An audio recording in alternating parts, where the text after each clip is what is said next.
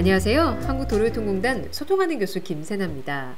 오늘은 어, 구독자분께서 우회전 신호등과 관련한 질문을 주셔서 오늘은 이 우회전 신호등과 관련한 소통 영상으로 진행해 보려고 하는데요.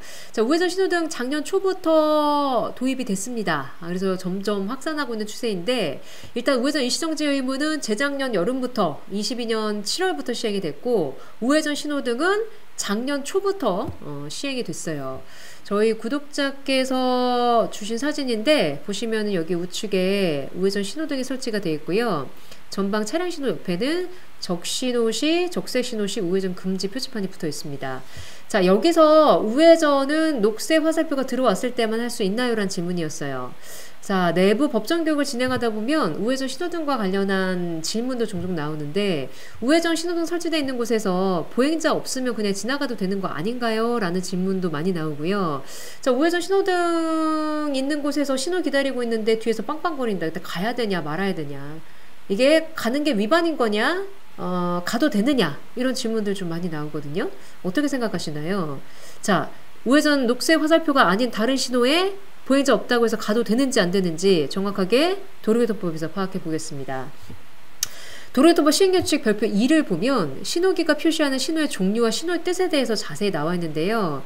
자, 그 중에서 녹색 화살표의 등화를 보시면 그 의미가 참하는 화살 표시 방향으로 진행할 수 있다예요. 자, 그런데 중요한 게 이 표의 가장 마지막 부분에 비고가 있습니다. 비고 3을 보시면 우회전하려는 차만은 우회전 3색 등이 있는 경우 다른 신호등에도 불구하고 이에 따라야 한다라고 나와 있어요. 즉 이 의미는 다른 차량 신호 상관없이 보행자 횡단 여부 상관없이 우회전 3색 신호등이 설치되어 있을 때에는 그 신호를 반드시 따라야 한다. 즉 우회전 할 때는 녹색 화살표가 들어왔을 때만 우회전 할 수 있다는 뜻입니다. 자, 이 우회전 신호등이 설치되는 곳은요, 주로 이제 보행자 사고가 많은 곳, 그리고 보행자와 우회전 차량 간의 상충이 빈번한 곳, 그리고 요즘에 대각선 동시 신호 주는 곳 있죠, 횡단보도. 그런 곳, 어린이 보호구에도 요즘 많이 설치되고 있고요. 그리고 우회전 신호등은 이렇게 세로 형태도 있지만 가로 형태도 있습니다. 여하튼 가로형이든 세로형이든 둘다 어, 법적으로 어, 공인된 우회전 3색 신호등이 맞고요.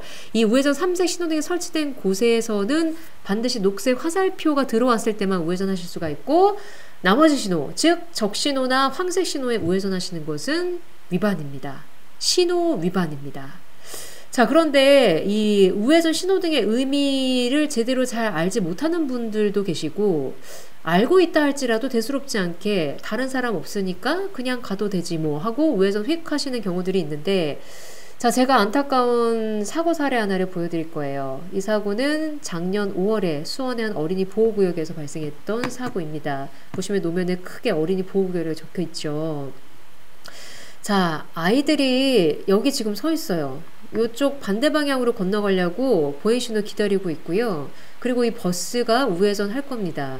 자, 그런데 출발할 때 지금 보시면 여기 딱 이 지점에 서 있을 때 지금 반짝하고 신호가 여기 우회전 신호등이에요.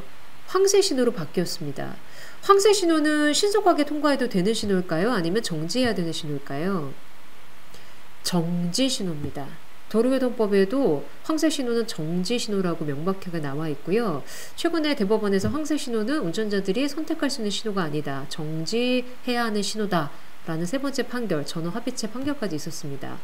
자, 아무튼 그런데도 불구하고 황색 신호는 대수롭지 않게 그냥 지나치는 운전자들이 참 많이 있죠. 아, 이 버스 기사분도 그랬던 것 같아요.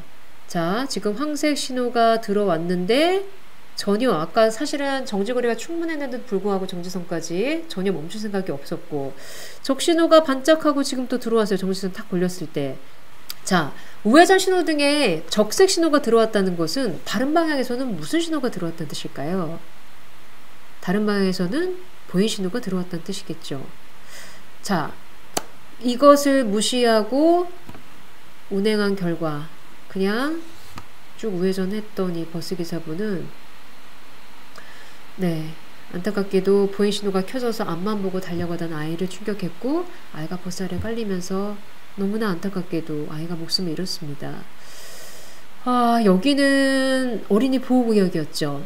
어린이 보호구역에서 어린이 사망사고, 우회전 신호등을 무시하고 우회전한 결과가 결국 아이의 사망이었습니다. 어린이 보호구역에서 어린이 사망사고 민식이법이라고 들어보셨죠? 어, 우리나라 스쿨존은 민식이법으로 인해서 굉장히 처벌이 강해졌어요. 특정범죄 가중처벌법에 의해서 어린이 보호구역에서 어린이 상해나 사망사고 유발하면 굉장히 처벌이 셉니다. 자, 이 운전자 2심까지 판결이 나왔어요. 1심에서 징역 6년 받고 2심에서도 동일하게 징역 6년 받았습니다. 자, 이렇게 부주의하게 운전한 대가가 때로는 누군가의 목숨값일 수 있다라는 사실을 꼭 명심하셔야 되고요. 따라서 운전하실 때 늘 주의 깊게 살피시는 습관, 특히 보행자들 배려해 주시는 습관, 그리고 신호 반드시 지키시는 습관, 황색 신호는 정지 신호, 어, 그냥 신속하게 통과해도 되는 신호가 아니라 정지 신호라는 사실 꼭 명심하시고 신호도 잘 지켜주시길 당부드리겠습니다. 자, 저희 아도르도법에서는 여러분의 구독자분들의 질문 환영합니다. 질문 어떻게 주시냐면요. 아하 도로교통법 채널 찾아오시면 커뮤니티 탭이 있습니다. 그 커뮤니티 탭 누르시면 제가 운전하시다가 궁금한 점 있으시면 언제든지 질문 남겨주시라는 글을 하나 남겨놨거든요. 거기 아래에 댓글 남겨주시면 됩니다. 그 아래 달린 댓글에 대해서는 제가 1대1 댓글을 반드시 드리고요. 또 많은 분들이 공감할 만한 주제, 아, 궁금해할 만한 주제에 대해서는 이렇게 이런 식으로 소통 영상으로 제작하기도 하니까 많이 참여해 주시고요. 그리고 이제 사진이나 동영상 문의하실 분들은 메일로 지금 하단에 나가는 메일로 어, 보내주시면 제가 답변 드리고 또이 음, 부분은 좀 다른 분들이 더 궁금해하실 만한 주제인 것 같다. 라는 부분에 대해서는 또 같이 영상으로 다루어 보도록 하겠습니다.